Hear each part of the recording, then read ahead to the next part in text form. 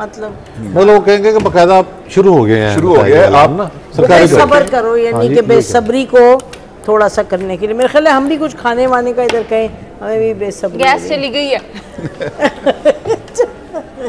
ये आपको खबर नहीं जी है? क्योंकि मैंने पूछा था चाय नहीं बाहर से फिर मंगवाए चले जी।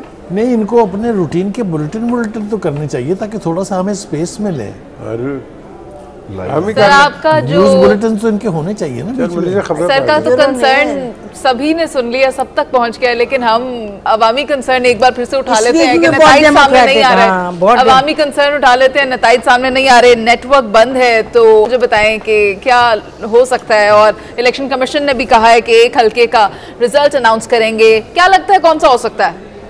कहीं ये वो वाला तो नहीं जहाँ नवाज़ शरीफ साहब और मरियम साहिबा भी जिसका इंतज़ार कर रही थी स्पीच देने वाली थी और उसके बगैर चले गए और कहा गया कि इलेक्शन कमीशन रिज़ल्ट अनाउंस करेगा ये वही हल्का तो नहीं?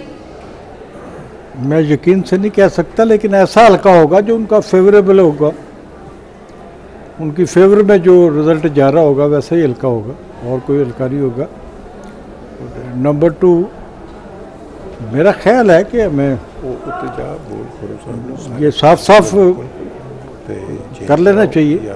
सलीम बुखारी साहब बता रहे थे अभी कि माजी में भी कई कई दिन रिज़ल्ट नहीं आते रहे। मुझे ये